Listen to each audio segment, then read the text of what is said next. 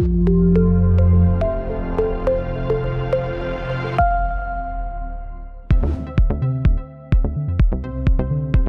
are a recovery room nurse at an ambulatory surgical unit. While recovering from liposuction, a 35 year old female patient with no comorbidities suddenly experienced difficulty of breathing. You tend to her and auscultate her lungs. You find out that she has decreased breath sounds. Suddenly, she becomes unresponsive. You monitor her vital signs and find out that she is pulseless. Question 1. What is your first action for this patient? A. Shout for help and activate emergency response team. B. Push hard and fast. C. Attach a cardiac monitor and defibrillator. D. Intubate the patient.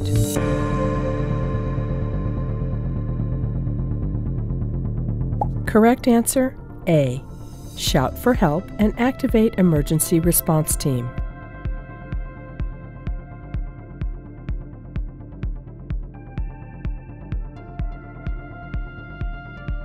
The American Heart Association has described the goals of successful resuscitation in the following order 1. Immediate recognition of cardiac arrest with activation of the emergency response system. 2. Early CPR with emphasis on chest compressions. 3. Rapid defibrillation. 4. Effective advanced life support. 5. Integrated post cardiac arrest care. Your team has connected a cardiac monitor with a defibrillator during the first cycle of CPR. You review the monitor and see the following rhythm. Question 2. What is your interpretation of the ECG reading above? A. Ventricular fibrillation. B. Ventricular tachycardia. C. Atrial fibrillation. D. Second degree AV block Mobitz type 2.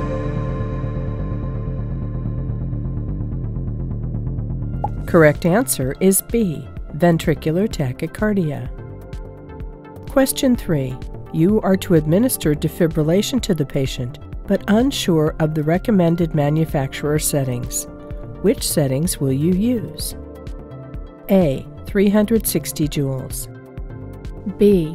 120 joules to 200 joules. C. Synchronized cardioversion with 200 joules. D pharmacologic treatment with adenosine 6 mg rapid IV push, followed with a normal saline flush.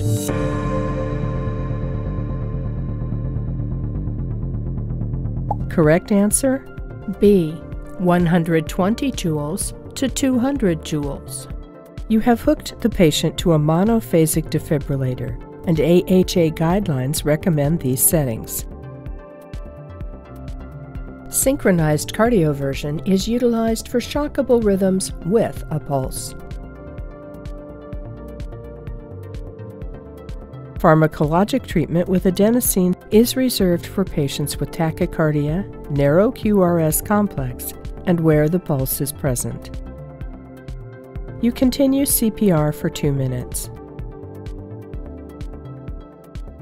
Question 4. While performing CPR, what is your next action? A. Consider advanced airway. B. Measure quantitative waveform capnography. C. Administer epinephrine 1 mg intramuscular route. D. Obtain IV IO access.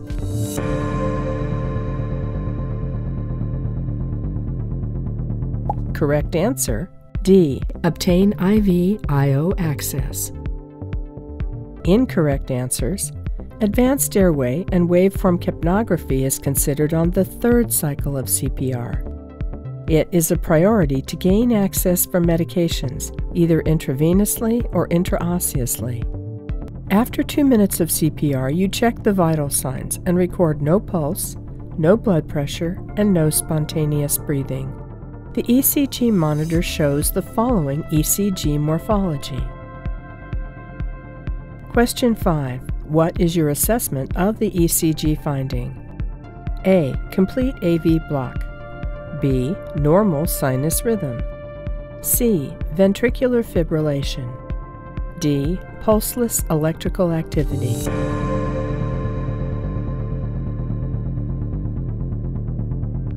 Correct answer D.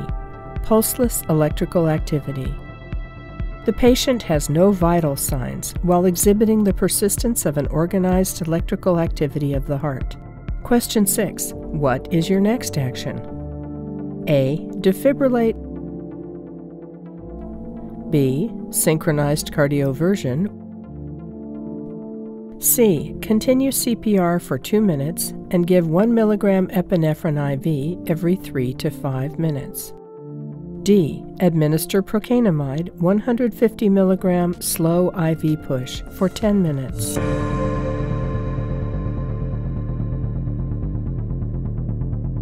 Correct answer C.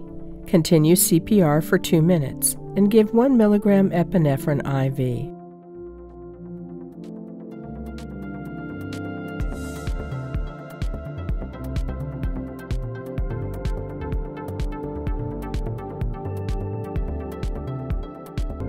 Searching and treating the underlying cause of pulseless electrical activity is the treatment for PEA. After two minutes of CPR and one dose of epinephrine, you assess the ECG rhythm and find the following. You continue CPR for another two minutes and prepare to give another dose of epinephrine. Following the algorithm, you search for the reversible causes of sudden cardiac arrest.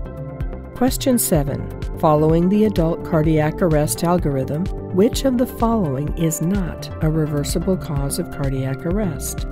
A. Hemorrhagic cerebrovascular accident. B. Cardiac tamponade. C. Coronary thrombosis. D. Acidosis.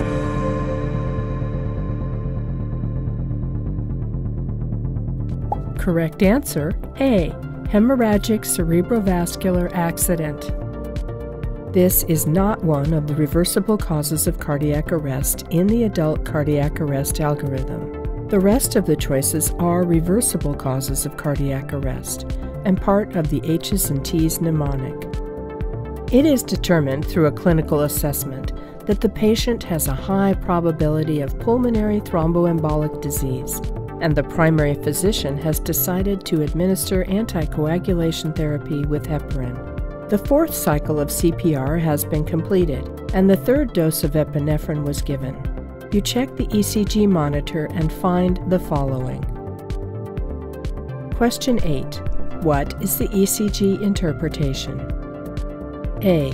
Ventricular tachycardia. B. Ventricular fibrillation. C. Atrial flutter. D. Supraventricular tachycardia.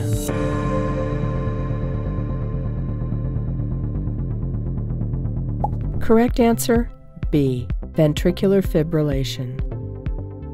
Ventricular fibrillation exhibits chaotic, irregular deflections of varying amplitude and absent P waves, QRS complexes, or T waves. As ventricular fibrillation persists over time, the amplitude decreases until asystole. Question 9. What is your next course of action? A. Defibrillate. B. Synchronized cardioversion. C. Continue CPR for 2 minutes and administer epinephrine 1 milligram every 3 to 5 minutes. D. Adenosine 6 milligram IV bolus followed by a normal saline flush.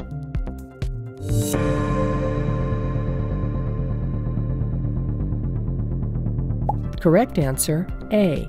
Defibrillate. Subsequent shocks should be delivered with the same energy or higher. After defibrillation with 360 joules, you check the patient's vital signs and see that she has a pulse,